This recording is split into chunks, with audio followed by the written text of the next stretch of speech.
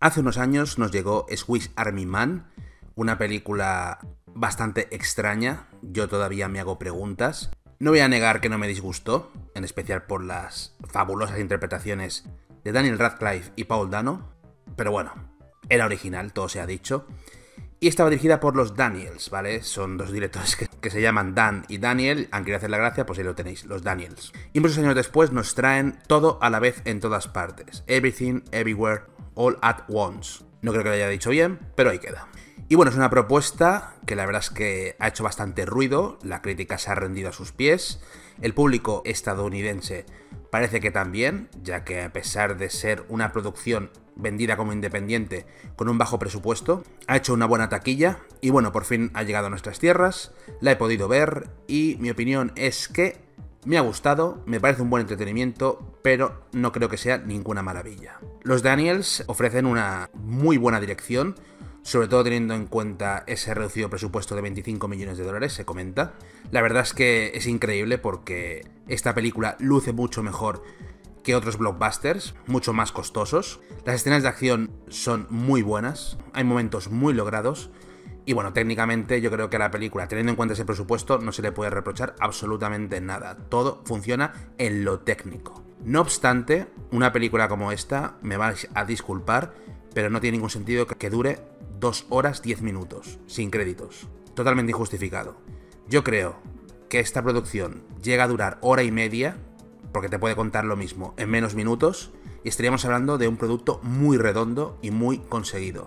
Pero no ha podido ser. ¿Y por qué no ha podido ser? Pues por la ambición de los directores y guionistas, ya que te quieren contar muchísimas cosas, se nota que se creen que tienen entre manos una obra maestra, un clásico de culto instantáneo. También es verdad que se desmelenan totalmente, no tienen ningún tipo de vergüenza, ofrecen un montón de bromas escatológicas que estoy seguro que van a chirriar al público que no está acostumbrado a este tipo de cine, así que avisados estáis. Yo he comprado, me he dejado llevar, o sea, a mí no me molesta este tipo de bromas escatológicas, tengo que dejarlo bien claro, pero hay un momento en el que se hubiese agradecido que a los Daniels les hubiesen puesto el freno, porque al final hay un par de tonterías que sinceramente a mí me han sacado de la película. Mira, que hagas según qué bromas y chistes te lo compro, pero llega un momento que dices, no, por aquí sí que no.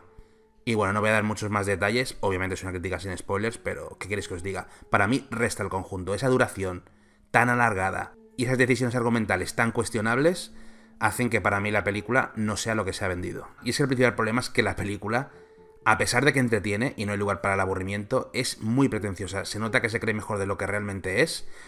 También os digo una cosa, tiene un mensaje y una trama que a mí me suena muchísimo.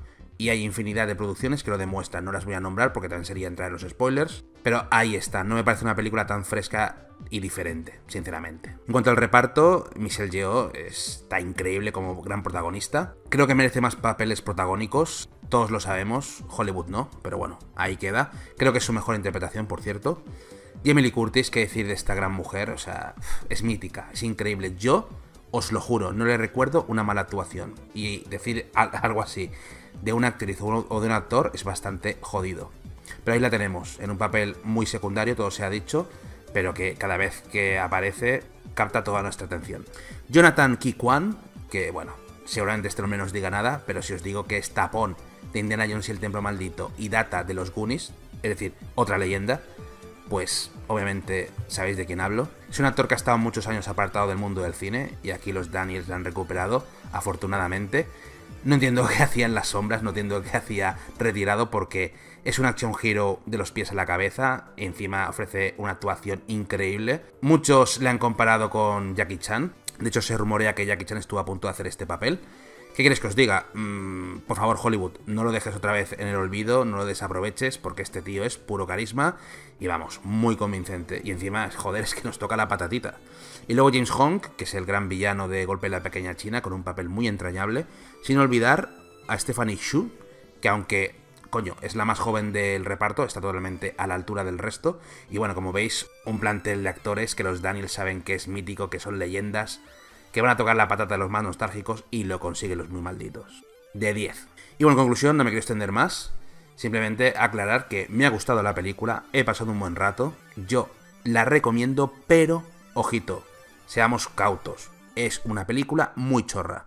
Es verdad que tiene emotividad, que va más allá, que invita a la reflexión, perfecto, todo lo que tú quieras. Pero tiene una serie de bromas que o aceptas las reglas del juego o vas a pasar un muy mal rato. O sea que informaos antes, por favor. Y bueno, en este punto cabe preguntarse, ¿acabará siendo esta película un clásico de culto? Pues yo, si os soy sincero, creo que va a ser otro caso de película en la que dentro de un año nadie hablará a pesar de todas estas alabanzas que está recibiendo. Que ojo, si acaba siéndolo, yo feliz porque tiene sus cosas buenas. Pero vamos a ser un poquito más comedidos, vamos a dejar de volvernos locos y sacar una obra maestra cada maldito mes, que es lo que está pasando. Y luego, obviamente, el que paga el pato es el espectador, pues estoy seguro que mucha gente irá al cine pensando, coño, esta es una obra maestra porque lo dicen los críticos. Salen de la sala y piensan, ¿qué me estás contando? Pero bueno, esa es otra reflexión, pero para que entendáis el sentimiento que provoca un film de estas características.